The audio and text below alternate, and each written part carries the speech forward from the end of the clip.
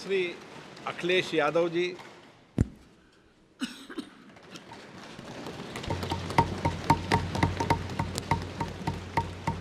लोकसभा के नवनिर्वाचित अध्यक्ष जी को मैं बहुत बहुत बधाई और शुभकामनाएँ देना चाहता हूँ।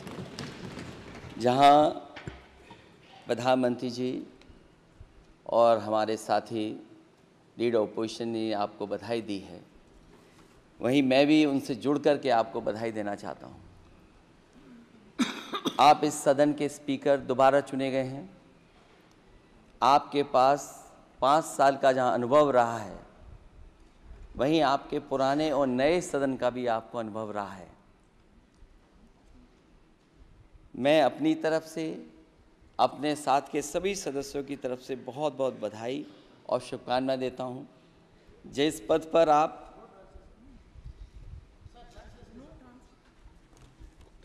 जिस पद पर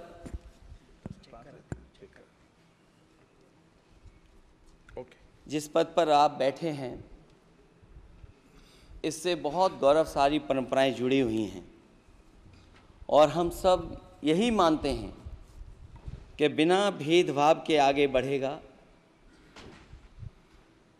और लोकसभा के अध्यक्ष के रूप में आप हर सांसद और हर दल को बराबरी का मौका और सम्मान देंगे। निष्पक्षता इस महान पद की महान ज़िम्मेदारी है।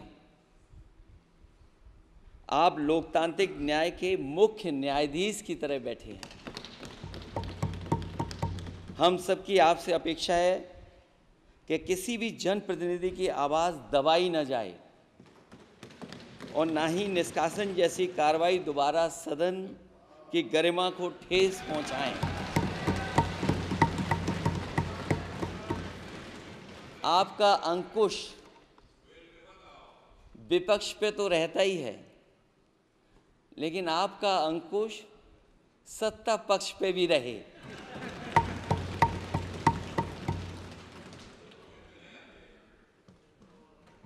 अध्यक्ष महोदय आपके इशारे पर सदन चले, इसका उल्टा ना हो। हम आपके हर न्याय संगत फैसले के साथ खड़े हैं। मैं एक बार फिर आपको इस अध्यक्ष पद पर बैठने के लिए बहुत बहुत बधाई देता हूँ। मैं सदन में पहली बार आया हूँ, ये नए सदन में। मुझे लगा कि हमारे स्पीकर की कुर्सी बहुत ऊँची होगी। क्योंकि मैं जिस सदन को छोड़ के आया हूँ अध्यक्ष जी उसकी कुर्सी बहुत ऊँची है। उस समय भी मैं अध्यक्ष जी किसको कहूँ कि ये कुर्सी और ऊँची हो जाए? जहाँ ये नया सदन है वही मैं आपकी पीठ के पीछे देख रहा हूँ। पत्थर तो सही लगे हैं सब कुछ अच्छा लगा है। लेकिन कुछ दरार में मुझे कुछ सीमेंट अभी भी लगा दिखाई दे रहा है।